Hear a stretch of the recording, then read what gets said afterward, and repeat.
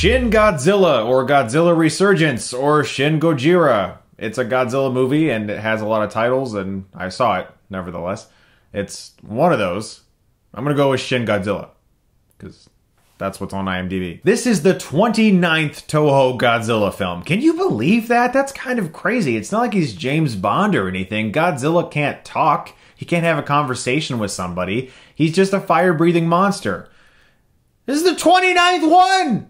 That's nuts! It's the first Japanese Godzilla in 12 years since Godzilla Final Wars. I'm a big fan of the fire breathing monster. I love this guy. I have my entire life. I grew up with the original, of course, it was the American edited version with Raymond Burr included called Godzilla King of Monsters. I, of course, enjoyed the 1998 Matthew Broderick Godzilla until I was old enough to realize how terrible it is. And for whatever reason, my favorite when I was a kid was always King Kong versus Godzilla. Don't ask me why, because it's really bad. but I loved that shit when I was a kid. So naturally, I was really pumped for this movie because I feel like this character's been a part of my entire life. Funimation, thanks to them, there was a theatrical run, limited, so I got to see it in theaters tonight with English subtitles, the original Japanese language. And this film's about a monster called Godzilla that climbs out of the sea and begins to wreak havoc in Japan, and a bunch of people try to figure out how to take care of this problem. So it's pretty much the exact same as all the other Godzilla films. This is a soft reboot. It's basically the original Japanese film taking place in today. So we have kids talking about Godzilla on Twitter and on YouTube, and we have the political people who are going through these tweets looking for information maybe they don't get because people are on the ground taking photos of Godzilla, that kind of stuff. And it's basically the exact same film as the original one from the 50s, except it's a little more fun and lighthearted. Now, this could also be looked at as a sort of tongue in cheek political satire of the way the Japanese government works, or a commentary on post earthquake Japan, but a lot of that is not going to factor in for most people who don't live in Japan, and it's not going to do much for the storytelling unless you're aware of these things and you see the connections. So, what did they get right about this movie? First off, Godzilla. He is so fucking cool in this movie. He looks badass, and his appearances are worth the wait. He's got this really cool orange glow to him, and he can just wreak some serious havoc on Japan, and his sequences are awesome. I loved him in this movie. Godzilla delivered. It was also cool to hear some of the original musical cues from back in the day that were reused in this film, as well as some new music that was also really good. As far as new things go, there are two things I could pinpoint in this movie. One being an incredibly chilling and very effective final shot that I loved. And the other is that Godzilla doesn't immediately appear as Godzilla. He kind of metamorphosizes, and at first I was like, what the fuck that thing? And I was like, I don't know if I feel this right now, but once you see him start to grow and change and become the Godzilla we all know and love, it reminded me of Dragon Ball Z. There's actually a part where somebody's like, Godzilla is only in his fourth form. And I was like, wow, he's Frieza. Godzilla's Frieza now. So Godzilla delivered in this movie, no doubt, and that's what people are going to go to this movie to see. For me personally, I also appreciate things like a good story and characters, people I can care about, something that allows me to get into the film, a narrative, a storyline that I can appreciate, maybe some dramatic depth. Yeah, that's not in this movie. if you've ever seen a single Japanese Godzilla film, they are basically, at least the solo ones anyway, all about Godzilla. He appears, and then a bunch of people have a lot of board meetings, a lot of political discussions, a lot of back and forth about what to do and how to take care of this problem. Do we send in the military? Oh shit, that didn't work. Let's nuke them. You know, they're all the same. Every solo Godzilla movie is the same.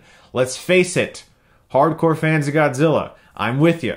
But they're all the same. Come on, guys. And this movie's no different. It doesn't really take any chances. And I really was disappointed in the humans in this movie. There isn't a single character. I actually tried to sit down and pinpoint characterization that was given to anybody, and I found one finally after thinking about it. The young girl in this film, she wants to be president one day. And that's about it, honestly. Everyone else is just a talking head that is trying to figure out how to kill Godzilla. Now, I can see that working in a film that has a better story or one that we haven't seen before, where it's just characters constantly trying to figure out how to deal with the situation. It's really fast paced. This film is not fast paced, though, to me anyway, because there is a humongous overabundance of characters.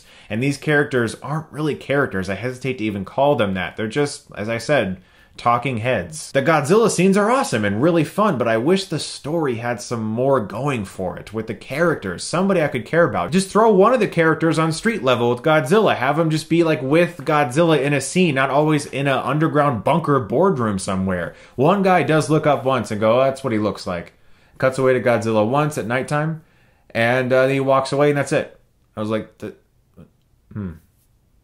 My biggest gripe with this movie is technically a nitpick, but if you are in Japan watching this film and you speak the Japanese language and there's no English subtitles, you're gonna see a lot of characters being introduced. Every place that you cut to, you get text telling us where it is. And not just like, here's a boat in the middle of the ocean. Like, if they show different parts of Tokyo, they're like, this part of Tokyo sub district, this part of Tokyo underground division, and stuff like that. Every person that walks onto screen gets a name imprinted. Now, if you're in Japan watching that, as I said, you get one white burnt in text in Japanese characters. That could maybe be tolerable, but in America, not only do you get that white burnt in character text, you get yellow English text telling us what those words say overlaid over the white text, and the English subtitles from the people who are speaking. So sometimes 75% of the screen is filled with text. It's kind of annoying actually, and they they use it so much. They really do, like every character. And there's like a hundred characters that come on screen in this movie, and it's like, here's the defense secretary of this. This woman works for this place. I'm like, I don't need to know all this. It's a lazy form of storytelling. Rather than finding more creative ways to let us know about these characters, everyone who comes on screen, they just throw some text in front of us. Those are my biggest gripes with Shin Godzilla. As someone who grew up with this character, I loved seeing him wreak havoc. The special effects were actually pretty good for a Japanese live action film. It's directed by the man behind Neon Genesis Evangelion and Gunbuster. It was really cool to see someone from anime take on something like this. And overall, he added some really, really impressive visuals to Godzilla. He felt humongous. There were some beautiful aerial shots, some very chilling moments in which Godzilla just lays waste to things. And I enjoyed that aspect of this movie. And I think that fans of the Japanese Godzilla films in particular will also really like this film, especially since most of those people didn't really enjoy the Gareth Edwards Godzilla. So they'll probably go to this and be satisfied. But there is a lot of political babbling and talking and really boring cardboard cutout characters. And that was a disappointment to me. I'm going to give Shin Godzilla a B minus. It does what it should, despite the fact that it is sort of a very unimaginative soft reboot that we have seen before. I was okay with it because it's Godzilla. I don't like seeing him tear ass through a city. Guys, thank you so much as always for watching. This film is still going to be in a limited theatrical run for a while, so if you want to check it out in theaters, you can probably find it near you. Also, I want to let you know that my sponsorship with Audible is still going on. If you go to audible.com slash Chris, you can get a free 30-day trial from an amazing selection of hundreds of thousands of audiobooks. I personally love that they have all the Star Wars books on this website. That's big for me because I love them. And if you go to audible.com slash Chris, as I said, you get that free 30-day trial and you can choose from so many different things to put on your MP3 player, your tablet, and you can read books on the go. And it's very convenient for people who don't always have the time to sit down and read. So please do check out audible.com slash Chris for that free 30-day trial. And thank you very much to Audible for continuing to sponsor my videos. Guys, thank you so much as always for watching. And if you like this, you can click right here and get stuckmanized.